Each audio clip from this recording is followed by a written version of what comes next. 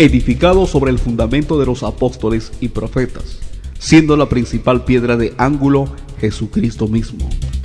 Efesios 2:20. Con ustedes, el pastor Ángel Paucar. Dale fuerte el aplauso al Señor. Vamos, iglesia.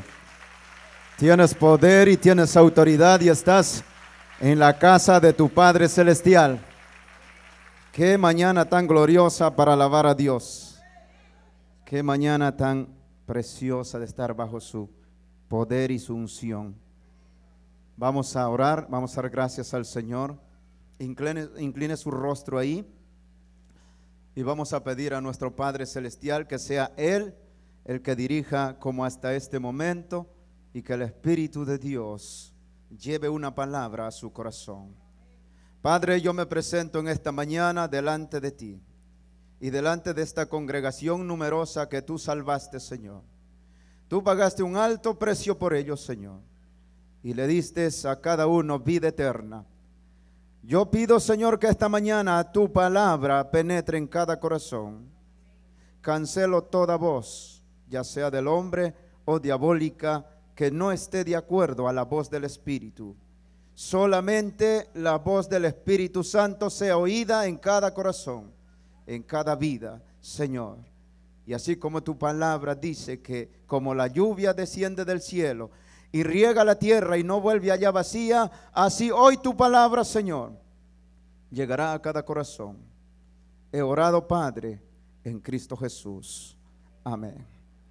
Vamos a buscar la Biblia en Mateo capítulo 16, el versos 18 y 19. ¿Cuántos trajeron Biblia esta mañana? Es una espada de dos filos la que usted tiene y esa tiene poder y tiene autoridad.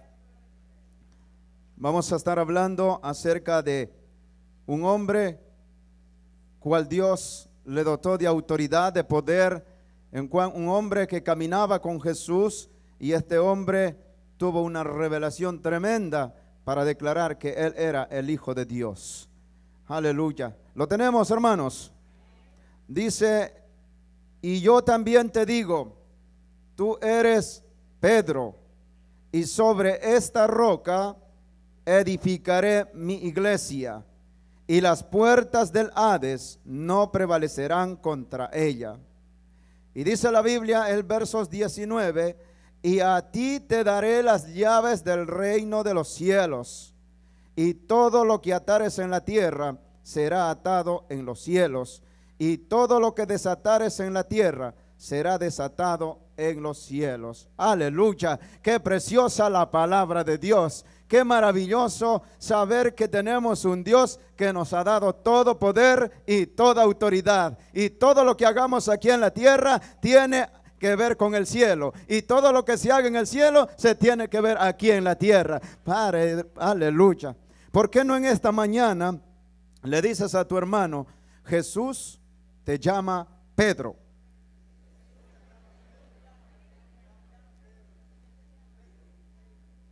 La Biblia dice que Jesús le dijo, yo también te digo que tú eres Pedro. Yo también te digo que tú eres roca. Yo también te digo que estás llamado y equipado para predicar el Evangelio. Yo también te digo que estás en este lugar porque eres una piedra preciosa. Aleluya. Por eso dice la palabra de Dios que cuando Jesús le pregunta a los discípulos, le dice, ¿qué dicen el mundo acerca de mí? Entonces ahí la gente le dice uno, tú eres un profeta, tú eres, eh, etcétera, etcétera. Le empiezan a decir a Jesús, pero Jesús le hace la pregunta, dice, pero ustedes, ¿qué piensan de mí?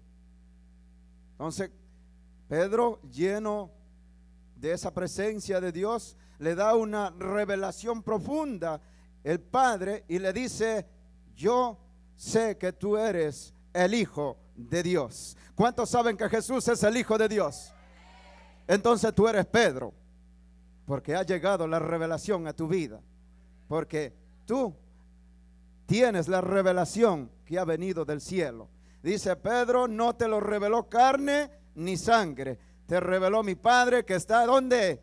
En los cielos. Él te ha revelado, dice, por tanto, dice Jesús, yo también te digo que tú eres Pedro y sobre esta roca edificaré mi iglesia.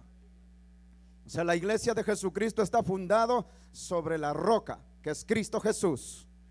Ahí estamos sentados ahora mismo en lugares celestiales junto con Cristo Jesús. Amén, iglesia. Entonces Dios es santo y Él está diciendo a su iglesia, Pedro le dice, tú eres el Hijo del Dios viviente, tú eres el santo, tú has venido para salvar al mundo. Pedro le está declarando a Dios y Dios dice, sí Pedro, yo soy Jesús y a ti te voy a dar la seguridad que cuando prediques, tres mil se conviertan. ¿Cuántos se convirtieron cuando Pedro predicó? Tres mil personas. El segundo sermón, cinco mil. Una iglesia de ocho mil en una semana. Gloria a Jesús. Tremendo Dios. Dele fuerte al Señor. Dele fuerte al Señor. En Hechos capítulo 2, entonces vea usted que Pedro todavía no estaba lleno del Espíritu Santo, pero Pedro tiene una tremenda revelación.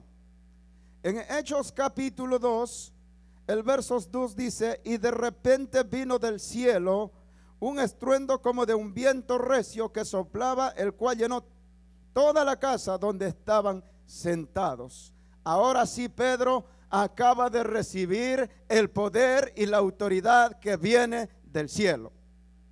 Entonces, iglesia, para empezar un ministerio, para empezar a caminar con Dios, para empezar a vivir esta palabra, tenemos que esperar ser llenados del poder de lo alto, así como Pedro fue lleno del Espíritu Santo. Y el versos 4 dice, y fueron todos llenos del Espíritu Santo y comenzaron a hablar en otras lenguas según el Espíritu les daba que hablasen. No es según la denominación, no es según tal religión, es según el Espíritu de Dios les dio que hablasen en aquel día. La iglesia de Dios es según el Espíritu Santo. La iglesia no está fundamentada en una religión, la iglesia no está fundamentada en el catolicismo, con los mormones ni los testigos de Jehová. Jesucristo es la piedra angular. Cristo Jesús murió por la iglesia y Él se ha levantado para rescatar su pueblo, de la cual tú estás hoy en este lugar y Dios te dice, yo también te digo que tú eres Pedro y sobre ti edificaré mi iglesia y las puertas del Hades no contra ella. No van a poder el diablo contra ti. Aleluya. Dale fuerte el aplauso al Señor. Las puertas del infierno retroceden y tú avanzas en el reino de Dios. Pero tienes que ser lleno del Espíritu Santo. Lo único que teme el diablo es a un hombre y una mujer lleno del Espíritu de Dios. La enfermedad huye, el dolor huye, el cáncer huye, el demonio huye porque estás lleno del Espíritu Santo de Dios. Aleluya. Caso contrario, Él se puede burlar. Ahora vea usted lo que dice, la iglesia es la única que porta o es portadora de la gloria de Dios. La iglesia. Usted que está sentado en ese banco, a usted que lo creó Dios, le dio un tremendo poder. Y usted es el que lleva la gloria de Dios en las naciones. Usted es la luz en un mundo perdido. En medio de las tinieblas, usted tiene que alumbrar. Usted es la sal de la tierra, la luz del mundo. Entonces dice Dios, como tú eres luz y sal de la tierra, sobre ti, sobre esa fe, sobre eso que has creído, yo estoy edificando mi iglesia. Dios está edificando una iglesia fiel y una iglesia verdadera. Si vas por otro camino que no sea Cristo Jesús, entonces no es la verdadera iglesia. Cristo Jesús fundó una iglesia por medio de su Hijo Jesucristo y las puertas del infierno, hermano, no van a prevalecer contra ella. Gloria a Jesús. En el Antiguo Testamento, cuando el pueblo de Israel recibió la presencia de Dios.